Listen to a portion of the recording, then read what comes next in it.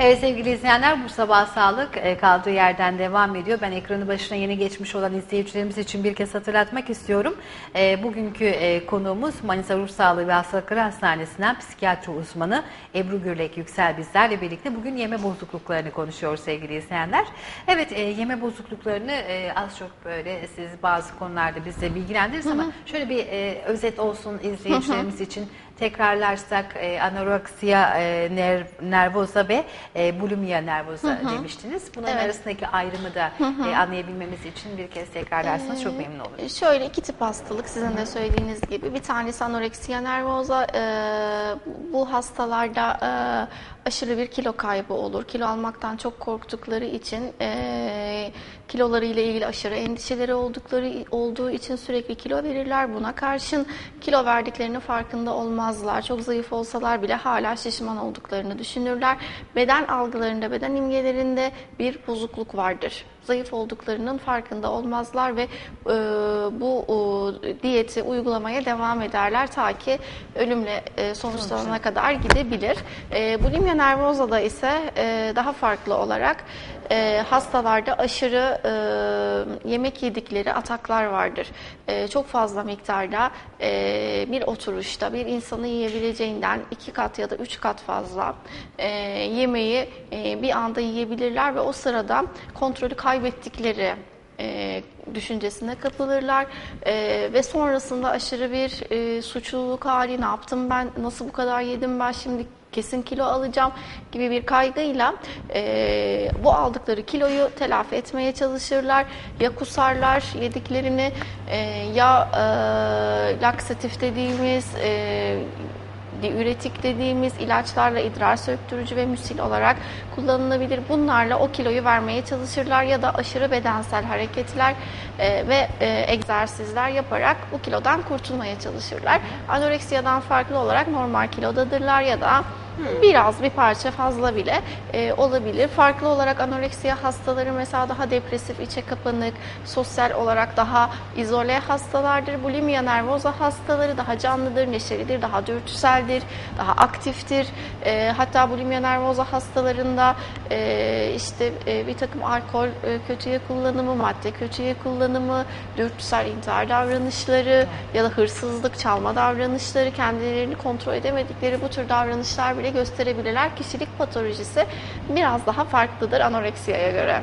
Tabii bunun yanında bir de e, depresyon da eşlik edebilir Evet, demiştiniz. hı hı. E, bunun yanında bir de bununla mücadele etmek zorunda da kalınabilir bu Evet. hastalığın dışında. Evet, aynen Hı hı. öyle. Bunlar da tetikliyor muhtemelen. E, tabii günümüzün toplumsal ve kültürel e, değişimleri de yeme bozuklukları üzerinde büyük bir otuk- e, etkisi e, olduğunu da ifade ettiniz. Evet. E, belki bir hayranlık, belki e, daha iyi olacağını düşüncesiyle de e, bu tarz. Peki aile içinde yaşanan problemlerin de e, bu tür ha- e, hastalıkları tetiklediği e, söyleyebilir miyiz? Tabii konuda? ki. Yani ikisinde de mesela iki hastalıkta da e, ciddi aile patolojileri vardır. E, anoreksiyada e, daha çok anne ile ilgili katı, e, mükemmelliyetçi, e, özerkliğe yani e, bireyselliğe izin vermeyen e, hastanın e, yanında kalmasını, ayrılmasını e, güçlendiren, bireyselliğini güçlendiren bir e, aile patolojisi vardır. E, kiş, e, genç e, diyeyim e, bedenini bu dalıcı, e, bağımsızlığa izin vermeyen anne tarafından işgal edilmiş gibi hisseder. Ve aslında bilinç dışı olarak yemek yememe e, bu kötü anneyi yok etmeye yönelik bir davranış gibi de algılanabilir. E, psikanalistler daha çok bunu yani e, temel patolojiyi bu şekilde açıklıyorlar. E, bulimia nervoza'da ise yine e, anoreksiya nervoza'da aile ilişkileri dediğim gibi daha yakındır. Yani anne çocuğa aslında çok yakındır. Olması gerekenden aşırı bir yakınlık, ilgi ve destek hali vardır. Fakat kendi patolojisini besler nitelikte. Çocuğun e, gelişmesine izin vermeyen nitelikte. E, bulimia nervoza'da ise genellikle kopuk aile ilişkileri vardır. Ya anne baba ayrılmıştır e, ya da birlikte olsalar bile aile içi sorunlardan dolayı çocuğa e, bir uzaklık durumu genellikle e, bulimia nervoza hastaları ailelerini soğuk ve ilgisiz olarak tanımlarlar. E, ihmal çok fazla olabilir çocuklukta. Çocukluk çağında ihmal çok fazla olabilir. E, ya da e, tacize maruz kalma bulimia Evet. hastalarında e, yani sıklıkla karşımıza çıkan bir şey olabiliyor. E, ama e, yine aynı şekilde yine aynı çatışmalar anne ile e, ayrılma bireyleşme çatışmaları bulimia hastalarında da çok fazladır. E, yemek yiyerek mesela o iyi anneyle bir olmayı, bütün olmayı e, kusarak da kötü anneyi içinden çıkarmayı e, ifade ediyor olabilir bilinç dışı olarak bu davranışlar. Evet bu da ilginç e, bir evet. yaklaşım, ilginç bir şey gerçekten. E, bulimia nevrozda e, tabii bedene de mutlaka zarar veriliyor. E, değil mi? E, Bu tip hasta yani sürekli bir, bir taraftan yiyip bir taraftan çıkarması bir süre sonra e, fiziksel bazı rahatsızlıklara da sebebiyet verebilir. Tabii ki. E, burada ailelere düşen görev nedir? E, ne- neleri dikkate almalılar? Veya e, çocuklar tedavi olurken ailelerin de e, aynı şekilde destek görmesi gerekiyor mu? E, grup tedavileri önemli midir? Burada neler söyleyeceksiniz? Ee, şimdi e, tabii ki hani e, aşırı yemek yeme arkasından kusma. E, kusma çok ciddi boyutlara varabiliyor ve bedene zarar verebiliyor. Yani kustuğunda sadece yediğini kusmuyor. Bütün mide içeriğini, o bütün muhteviyatı kusuyor ve bu sırada e, kalsiyum kaybediyor, işte e, potasyum kaybediyor, magnezyum kaybediyor E, ve bunlar da ciddi olarak mesela potasyum kaybı kusmalar sonucunda bizim çok fazla gördüğümüz bir şey ani kalp krizine bile sebep olabiliyor. Yani birden bu hasta, hastaya bir kusma atağının takibinde kalp krizi e, sebebiyle kaybedebiliyoruz. E, onun dışında e, sodyum kaybı, hiponatremi, sıvı elektrolit dengesizlikleri yani bedenine e, her şekilde kusarak aslında zarar, Zarar. vermiş oluyor. Aileler bulimia nervosa'yı daha kolay tanıyorlar Daha aslında aslında. Evet daha kolay tanıyorlar çünkü e, ya bir nö- yeme atağını çünkü kontrolsüzce yediği için ya bir yeme atağını görüyorlar e, ya da kusmalarını fark ediyorlar. E, aslında bu hastalar çok da profesyonel oluyorlar. Kusmalarını çok güzel saklıyorlar. Kusma sesiyle sifon sesini mesela yani öğürtü sesiyle sifon sesini aynı ana denk getiriyor. Öğürtüsü fark edilmesinde. Tabii çok bilinçli. Aslında bulimia nervosa hastaları dediğim gibi çok daha rahatsız oldukları için bu durumlarından hoşnut olmadıkları için e, biraz daha hastalığın farkında oluyorlar ve tedaviye kendi istekleriyle gelebiliyorlar. Aileler e, için aslında bulimia nervosa biraz daha kolay bir hastalık anoreksiyaya göre. Hı hı, Daha kolay. Evet anoreksiyada çünkü hem fark etmek zor olabiliyor son ana kadar son döneme kadar hani diyet yapıyor zayıflıyor tamam zaten herkes zayıf şimdi ama e, o işte yaşamsal tehlike oluşturacak duruma geldiğinde ondan sonrası çok hızlı bir şekilde gidebiliyor ve hastalar kaybedilebiliyor. Ailelere bu konuda neler önerirsiniz? Örneğin e, birkaç e, yerde okumuştum. İşte e, yemek saati. Aa, ben işte atıştırmıştım anne, ben yemiştim. E, şimdi tokum e, deyip böyle sürekli geçiştirmeler e, ailenin dikkatini çekmemesi açısından e, genç kızlar üzerinde özellikle bu ergen yaştaki kızlar ailelere de büyük görevler düşüyor. Özellikle nelere dikkat etsinler? Yani çocukların işte böyle sürekli yemek saatlerinde başka uğraşlar bulmaları veya ben yemiştim deyip geçiştirmeleri önemli midir? Yani şimdi e, ergenlik döneminde bir çocuktan bahsediyoruz. Zaten hani dönem gereği e, aileyle e, ilişkileri e, bir noktada zaten hani çok yakın olmuyor ve e, ailenin söylediği her şeyi onlar e, yanlış olarak algılıyorlar ya da ters olarak algılıyorlar. Ailenin yapması gereken şey hani çok baskıcı e, olmadan e, daha doğrusu takip ederek yani hani e, onu e, ergenlik döneminde olması hassasiyetini de göz, göz önünde bulundurarak işte ye ye ye diye aşırı baskı mesela Evet, olmaz. E, ne yapıyor, yiyor mu? Yani kıyafetleri nasıl, ne kadar zayıfladı? Kıyafetlerine bakarak mesela zayıflığını takip edebilirler. E, o şekilde davranabilirler ve aile görüşmeleri bu hastalıkta çok önemli. Yani e, ailenin mutlaka e, tedavinin bir parçası olması gerekiyor. Aileye çocuğun özelliğine e, artık hani e, bir e, erişkin bir birey olma yolunda adım atan bir ergen olduğunu ve onun büyümesini destekleyici, özelliğini destekleyici ve kilolu da olsa aslında ona değer verdiklerini, kilolu da olsa aslında böyle de çok güzel olduğunu. Yani bunu çocuğa beden algısını özellikle düzeltmeye yönelik ailenin tutumları çok önemli. Ne olursan ol, nasıl olursan ol bizim için değerlisin ve biz seni böyle seviyoruz. Bu mesajı vermek çok önemli.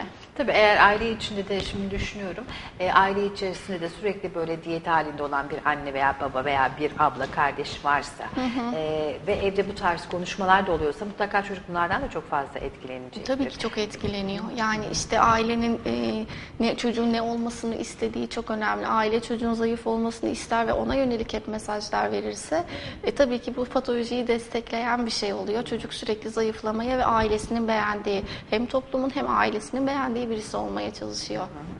Peki tedavi süreci ne kadar bir süre gerekiyor tedavi süreci? Uzun bir süreç gibi e, düşünüyorum. Neler söyleyeceksiniz? Çok uzun ilgili? yıllar süren tedavi süreçleri, psikoterapiler, e, ilk baştaki yaşamsal tehlike dönemini hastanede atlattıktan sonrasında da tedavi bitmiyor aslında. Hasta biraz kilo alıyor. E, ama sonra dediğim gibi tekrar e, hastalık başlayabiliyor. Yani E, tekrarlayabiliyor. tekrar- Bu bir kez tedavi oldu, tekrar olmayacak diye bir şey bir yok. şey yok. Yok. İşte o yüzden hep psikoterapilerle, destekleyici psikoterapilerle, farkındalığı arttırmaya yönelik dinamik yönelimli psikoterapilerle, e, aile görüşmeleriyle, e, aile terapileri çok uzun yıllar süren bir hastalık ama e, sonuçta e, evet hastaların %30'u iyileşiyor. Bulimia nervoza'da %50'ye varan iyileşme oranları olabiliyor. E, ama çok zor bir tedavi süreci oluyor. Evet zor mutlaka ki zor çünkü ikna etmek de e, mutlaka ki çok zor. Evet. E, ardından e, tabii e, fizyolojik olarak da metabolik olarak da bazı değişimler olduğu için belki beraberinde başka e, kronikleşen rahatsızlıkları da beraberinde yaşamak zorunda kalıyor. E, evet e, yaş olarak 12'li yaşlara dikkat edilmesi gerekiyor. Evet. 18'e kadar olan ki dönem e, çok önemli. Evet. Peki yaşanan bir travma da tetiklemiş olabiliyor mu bu tarz hastalıkları?